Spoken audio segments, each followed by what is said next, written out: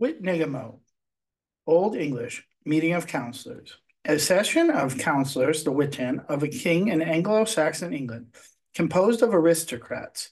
It was dependent upon appointments of king or his immediate predecessor. Its assent was sought by king in important matters, probably had power, especially in Wessex, to elect king.